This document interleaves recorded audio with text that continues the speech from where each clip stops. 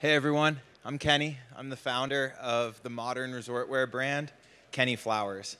And it just feels good to be here. Is everyone enjoying LA so far? If I knew it was going to be 90s, I'd be in shorts and flip flops, but didn't know that. Um, I'm here to talk a little bit about my story and basically take a look at how we have created a brand that brings vacation to our customers each and every day what we do is make our customers feel better. We create products that set the tone for the type of day they want to have. And this all started back in 2015. I quit my corporate, you know, that cushy job in New York, booked a one-way ticket to Bali, Indonesia, and got on the ground to live out my dream of trying to create a better modern Hawaiian shirt. Once I got there, I quickly realized I have zero fashion experience, no business plan, and really no advice besides a blank slate for me to fill on how to do this. I had an iPhone note that basically said, you know, we got to find some good fabrics, we got to find a factory to make the shirts. Completely forgot about creating a logo for the brand in that first bit, but that's how you get started. So, like I said, what led to starting this? I wanted to make sure that I was creating not just a product that could be a Hawaiian shirt on the market. I wanted to create something that was ideal for my customers and really think through everything from their perspective. I had $12,000 in the bank account, which really wasn't enough for me to sit around in an apartment, email factories, wait for samples, wait for years, and I just knew that by going there, showing up, and starting the business, it would be the best chance to succeed. Fast forward three months, and I found myself on a flight back with a couple hundred shirts in my bag. This is a little inside look at our inventory sales tracker back in 2015, tracking the sales made at a pool party at my friend's house in Santa Monica. Also over here was the online shipping side of things, where I was using their beer pong table, ping pong table, as um, you know, the warehouse to lay everything out before shipping. And all I can say really is it's doable. You just have to get started. You'll learn more by getting started than you will by sitting around and planning. So if there's anything you take away, if there's any idea you're thinking about, you got to get out there and start testing it, talking to customers, figuring out what they want, and creating the best product you can for them. And that really leads to what I think was the most important part to our early success and our continued success to date. And that's understanding your customer. And I say that because, I mean, you are thinking about your business 24 7. It is your baby, it is what is on your mind, but the reality is your customer probably is not. So you have to take every advantage of every moment that you get with them because it's special.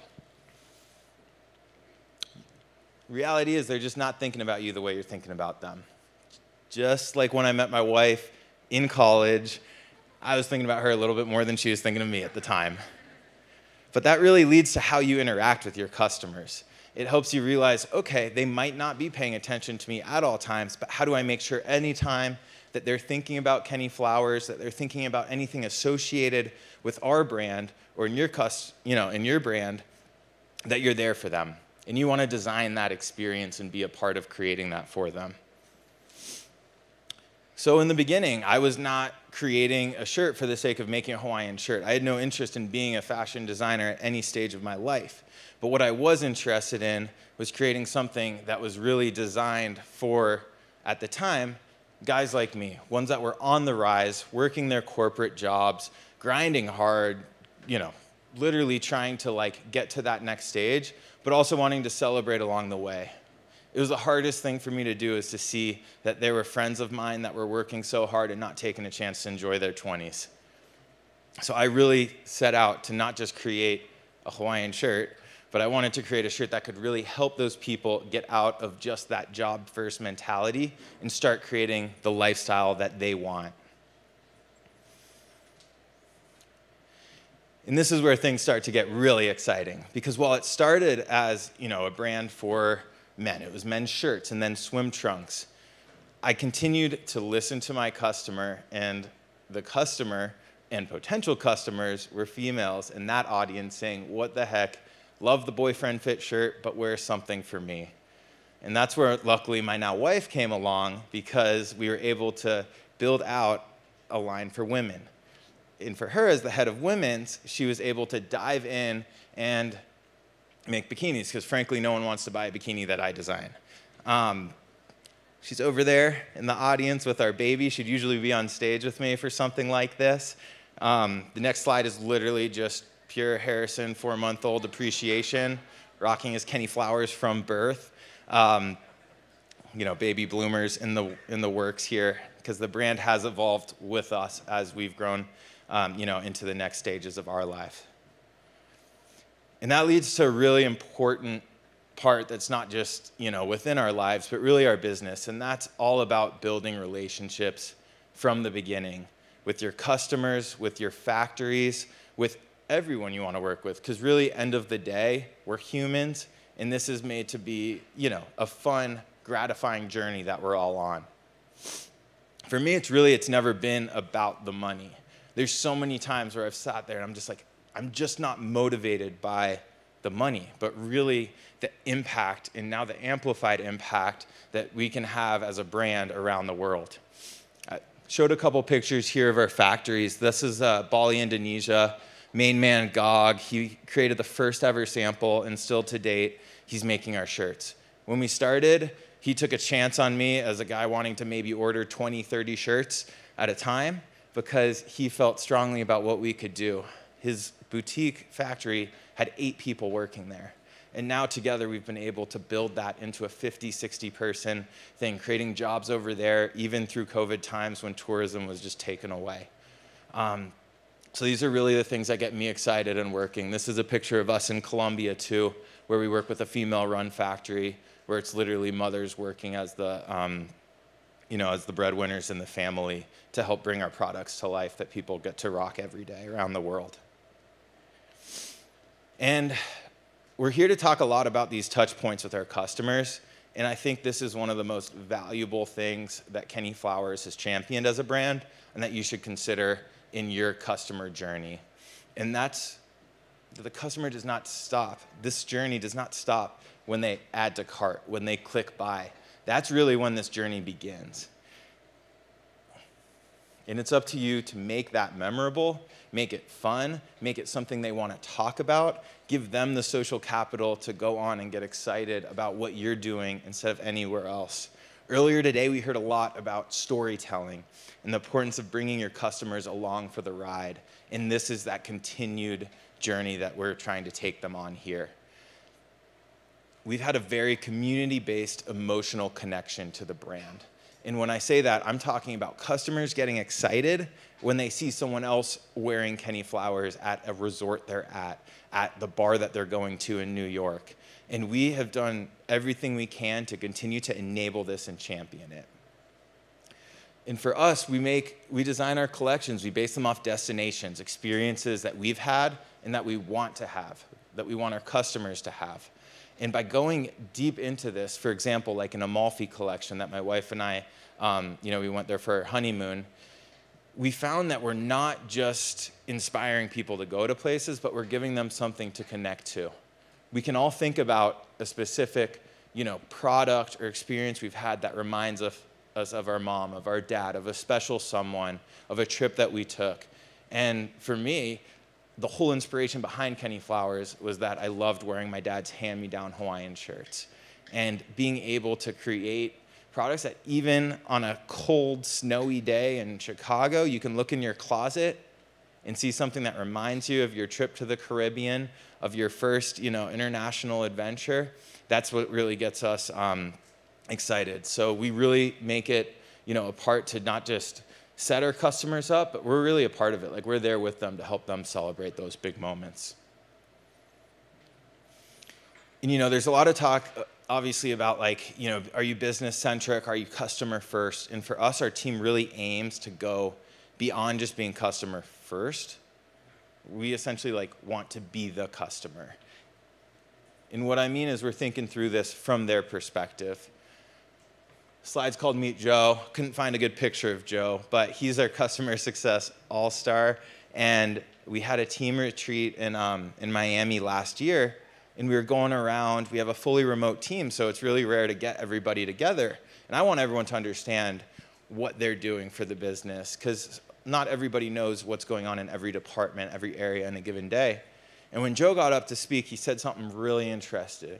He said, basically, my job is to go on 10 bachelorette parties, three bachelor parties, a few destination weddings, couple honeymoons, and to the bar with some of the guys every day.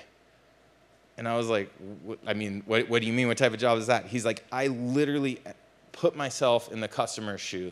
When there is a bride reaching out, wondering when her package is going to get there because of the flight, I emphasize with that customer. I put them in that mindset because that allows him to give them the best experience they can or that he can. So for us, like I said here, it's like it's all about emphasizing with the customer, getting excited with them, and then ensuring that that customer has everything that they want from us. So, what you wish your customer remembered versus what they actually do. I think this is a really important point and something I brought up a little bit earlier but the bottom line is your customers just don't remember everything you do. Some of my best friends have no idea somehow still that we launched our Golf Country Club line a year and a half ago. They say, dude, you should make some golf shirts. I'm like, well, I mean, I sent an email about it. Did you not get that? Um, so I think that's a really important thing to keep in mind, but that doesn't mean they're ignorant. It means they're out there living their lives and doing their thing. So knowing like, you know, customers don't remember everything you do, but they do remember what they did with your product, or in our case, wearing Kenny flowers and the times that they had in that way. And, you know, I put a few, anyone recognize some of these faces? I've got Jimmy Buffett. Uh, this is Gayle King at brunch in Brooklyn. Uh, that's like Oprah's bestie. And then Yung Gravy, who's like this swanky rapper guy right now who loves rocking our shirts. And I bring this up because it's amazing what's actually memorable to your customers in a given year. Sometimes it's the fact that my wife posted an Instagram about me not being able to, you know, get my bag under 50 pounds and having to pull Hawaiian shirts and, you know, tie them to my backpack to be able to get on a flight. Other times it's that Jimmy Buffett wore our shirts on tour all summer. So with you and your company, it's really about thinking through what are some of these key moments that you can do and emphasize them. And also know that if something really resonated with your customer or customer base, a year from now, if you're a growing company, you're gonna have 70, 80% of customers that weren't around for that time. And knowing that they would be probably just as excited to know that when they go on vacation, they're basically wearing what Jimmy Buffett wears in Margaritaville. And this is really, to me, a really important question to ask. It's not the first time anyone's ever said, you know, what do your customers want? But I'm not talking about products, I'm really talking about the experience. And not just customer success, but really what they get from your brand in a given time. Does your customer want to get a quick answer? Do they want to talk on the phone? Do they want to just lash out at somebody because they're having a bad day and you can be there to turn it around. You have to know exactly what your customer wants and make sure that you're there to give them that. For us, we know that our customers want a friendly experience. They want to feel like they have their own customer concierge feeling and that they're really getting set up and having extra VIP service along the way. So we deliver that. Your business changes all the time. Every year, Kenny Flowers is a different business. The first year we were in operation, I was in Bali for nine months of that year working on creating the best product I could.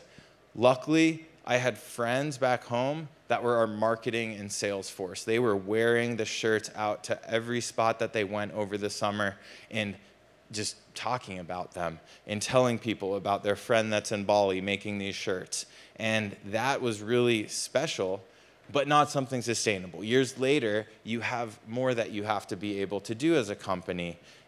Even like if you think about our warehousing, we had my mom shipping shirts out of my room from growing up, shelves stacked with a few different sizes and designs. And eventually I got a call from her saying, you know what, this isn't just a me helping you anymore. This has taken over my days. It's time to get to 3PL like ShipBob. Um, so that was exciting. And you have to be able to really create the best business you can so that you can deliver to your customers. If customers aren't getting their shipments for a week because it's backed up at the, you know, house or warehouse, that, that can cause issues. So it's really about just evolving with it and making sure that you're setting up um, that. And while I say that the business changes, I think the essence of your brand needs to scale with it. For us, since the beginning, people knew if they reached out, they were going to talk to someone that really, really cared about them and making sure that they were set up with KF. So in the beginning, we had like zero returns, only people complimenting shirts. There was nothing going on because it was my friends. And they're like, I don't want to email Kenny and you know tell him I want to maybe send a shirt back or something. But over the years, we've really built that out. And then it was my family getting involved and helping. And eventually, our top customers turned into our employees and we're the ones dealing and talking with our customers every day, which is something that we were, are now able to scale. And like I said, uh, you know, I just said this, but basically setting yourself up to succeed as you scale is only a benefit to the customer itself. So really thinking about things explicitly as, hey, we're customer first, can end up backfiring if you're not doing the right things with your business to create the right experience. And I think a good example about keeping a consistent brand for us was really during the COVID times. I mean, we literally had to ask ourselves that question like, what do you do as a vacation brand when no one can go on vacation? And that really, you know, that was a challenge. There's no time to figure this out, but we had to figure out what do we do? How are we? We had marketing emails ready to send out saying, hey, go on spring break with 10 of your friends and be within a six foot radius of each other and have fun. And we had to not send those. Um, but it really brought us back to the drawing board and realizing that it's not for us, the customer experience isn't just about sending people off on vacation, but really how can we bring vacation to our customers. And yes, everything changed the landscape, what people were able to do. But the reality is, our brand didn't. It only strengthened during that time and set it up where we realized hey, whether it's good times or bad, we're here to brighten someone's day. We're here to help them escape, help them feel better, whether it's putting on the product or just knowing if they send an email with a question, they're going to get a friendly response, not something too automated. And turn in there. I'm happy to open this up to, to Q&A and just see what anybody has questions on.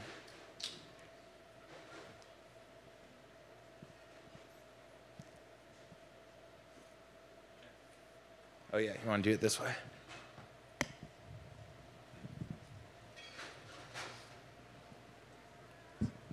Uh, well, I'm Jacob. Uh, big big fan. I'm going to be a new customer, so I can't wait to wear one. Um, have what have been some of the challenges you guys grow in like keeping that personal touch? Because I feel like I, I, think a lot of brands and whoever's from a brand side here probably sees that as like as you grow as a bigger company and you have more customers and more orders and more issues, it's it's harder to keep that personal touch. Like, what maybe what are some of the tips or what are some of the challenges and what are you going to do over the next couple of years? Oh, perfect. That's a great question. So you're asking basically what are the challenges as we grow? How do we keep that consistent service? And I think the best thing you can do is champion people that are going to care about it deeply every day. We, I mean, I'm not plugging Gorgias, but we do use them and it helps so, so much because anyone new at our company can easily see exactly how we're responding. And by catching patterns, trends, ways that people are reaching out, what they're running into, that ends up helping us solve and get ahead of it. Because our customer success team, like, they're not just responding to customers, they're informing the rest of our team what products we should be making, what's going on in a general area of the US, and how we can respond or be a part of that.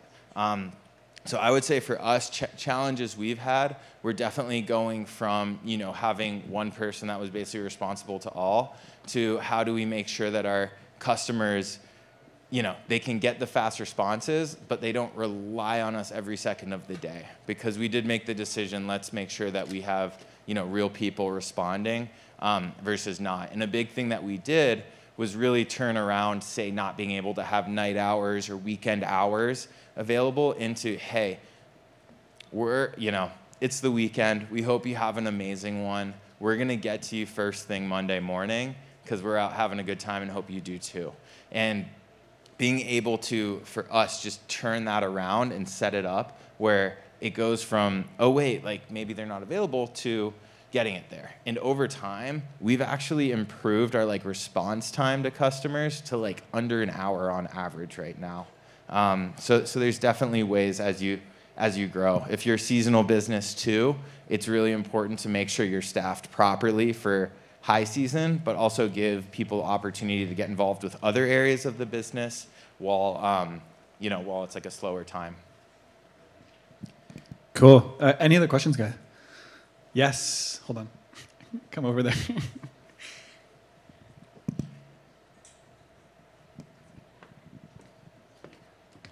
Hi, Kenny. Thank you. Hi. Can you talk about your process of building your team? Mm-hmm. You know, going from starting out in your friend's house to scaling to where you are now. Specifically, who was your first hire? Who was your second hire? And would you do those hires again in that order? Yeah, that, that's a great question, and it's one of those things I have learned as I go. Um, I would say, you know, when you're when you're starting out, no one's going to care about the business as much as you do, and you have to be able to acknowledge that. But you do have to find people that are passionate about helping in any way possible in a given day, especially in the beginning. So I would say those first couple hires, it really needs to be focused on people that are willing to hustle, willing to do multiple jobs, be flexible, and as your team starts to grow, like right now we're 12 to 15 depending on how you count some of our like main contractors it really changes from wanting, you know, what I'd call generalists, people that are, you know, smart, passionate about the brand, but can help wherever needed, into specialists that can really help you get after an area that either you have a weakness in or you see a huge opportunity and need extra people fully devoted to it. cool. Thanks, Kenny. Uh, one more question. I think we probably have time for one more.